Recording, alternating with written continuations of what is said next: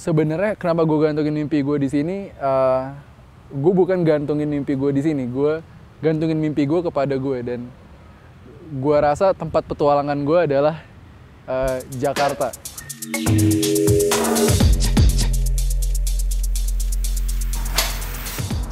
Mana nih? Gue promosiin deh sekalian. Halo gue Lace.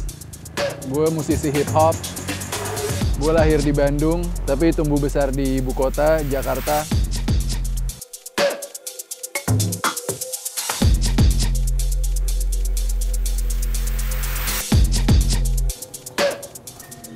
Kita lagi di gang samping masjid. Harus dia ada ibu-ibu. Misi bu? Enggak bu gue di sini dari kecil dari SD SMP udah sering main ke sini terus sampai pernah tinggal sini juga terus pindah lagi sampai akhirnya tinggal sini lagi. Uh, waktu gue SD katanya sih tempat ini daerah ini punya reputasi yang kurang bagus. Ya biasalah anak muda narkoba segala-gala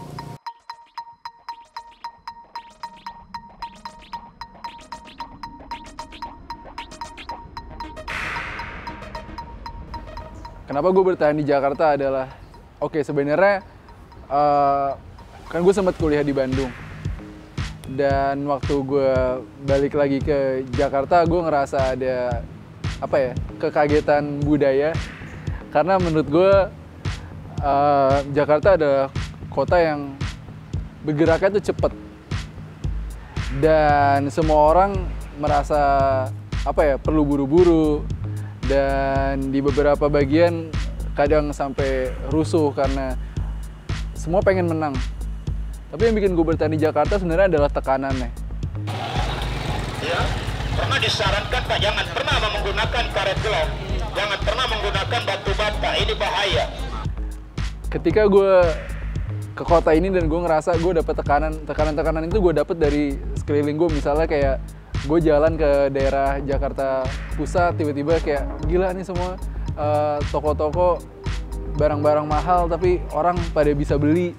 Atau kayak gue liat jalan raya gila nih mobil mewah-mewah semua orang pada bisa beli. Mungkin tekanan gue tuh lebih kayak bukan tekanan tapi tekanan itu berubah jadi motivasi kayak gimana gue bisa mencapai titik itu. Dan gue rasa uh, keberhasilan dalam definisi gue pada saat itu cuma bisa dicapai kalau gue ada di kota Jakarta jadi ini daerah gue masih Jakarta Selatan tapi ini beneran di perbatasan antara Jakarta Selatan sama Tangerang. Sini gue tunjukin garisnya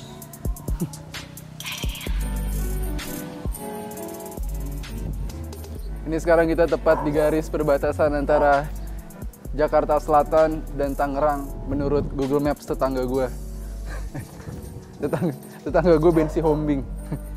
Ini katanya sekarang gue berdiri ini Jakarta Selatan tapi kalau gue ke sini gue dari Tangerang. Tapi gue di Jakarta Selatan lagi. Gue kayak Kim Jong Un tadi lewat lewatin garisnya. Gitu deh. Gue hidup di daerah perbatasan yang kalau gue Donald Trumpnya gue juga nggak bakal bikin tembok sih di situ nggak perlu. Sebenarnya kenapa gue gantungin mimpi gue di sini uh, gue bukan gantungin mimpi gue di sini gue gantungin mimpi gue kepada gue dan gue rasa tempat petualangan gue adalah uh, Jakarta. Tapi si tekanan di Jakarta ini juga ngebantu gue secara motivasional. Tapi kalau dibantu as in sebagai apa ya kayak fasilitas ini ah kemudahan kemudahan sih nggak nggak juga. Tapi mungkin karena banyak orang di sini dan orangnya beragam banyak pelaku musik juga dan misalkan kantor-kantor label gitu juga pusatnya di Jakarta. Gue gue mungkin terbantu dari sisi itunya aja sih. Tapi kalau kemudahan kayak jalanan tetap macet banjir tetap banjir uh, padat tetap padat kejahatan tetap kejahatan gitu. Di rumah gue di rumah nenek gue di situ motor hilang dua kali. Jadi kalau lo parkir di depan pagar pagar yang nggak ketutup motor rawan hilang. Terus gue parkir mobil gue di depan pagar nggak ada 24 jam pelek gue hilang. Ini dulu itu rumah om gue dulu tapi dia udah pindah. Nah ini nih dulu dulunya juga lapangan basket sebelum jadi perumahan kecil-kecil ini dulu di sini lapangan basket. Dulu sempet di demo nih waktu ini dibangun. Pada kesel. Dulu gue bikin graffiti di sini masih SMA SMA apa SMP ya lagi suka-suka graffiti. Gue coret tembok-tembok lapangan basket. Tiba-tiba ada warga tuh keluar dari pagar situ. Woi jalan coret-coret terus gue bingung pengen bilang apa ya pengen bilang ini estetika dulu gue belum ngerti.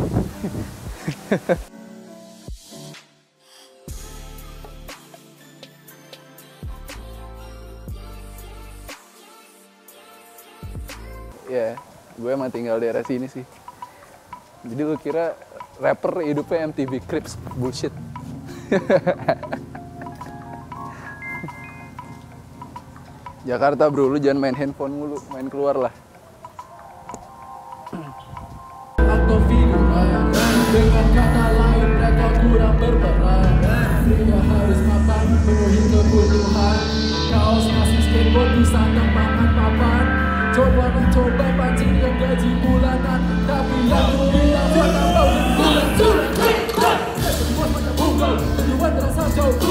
aku belum stop coba bilang ahok Pengen udah di bawah memang masih jodoh Udah bilang bodoh, oh no Ternyata kita foto, oh no Bukan Jokowi tapi kan aku paling solo Saya belum mengingatkan dan kata follow Hold up, hold up, hold up Dulu hip hop dibilang aneh Gue yakin banget, kan hip hop tuh ada empat elemen. Ada b-boy, break dance, ada b-boy, DJing, uh, rapping, sama graffiti. Dan menurut gue ada elemen kelima. Elemen kelimanya adalah mengenal diri lo sendiri.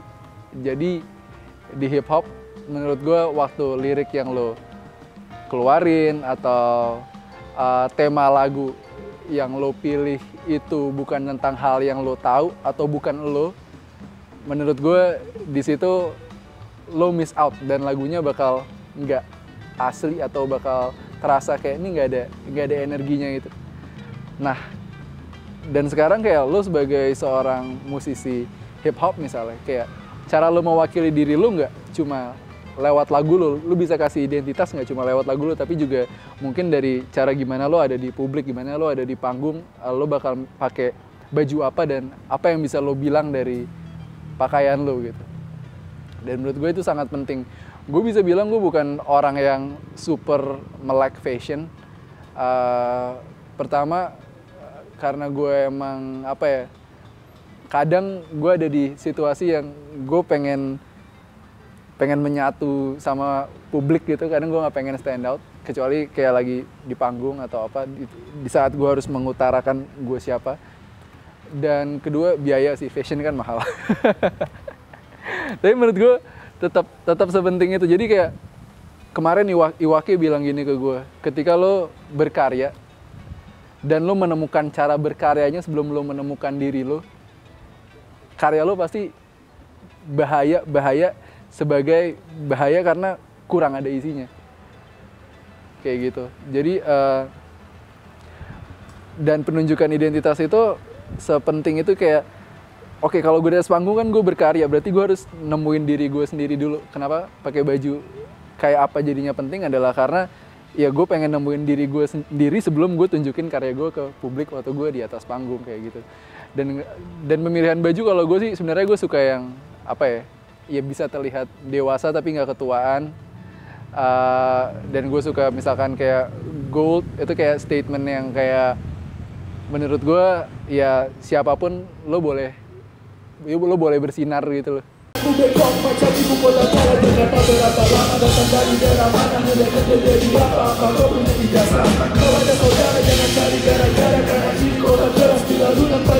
a odiar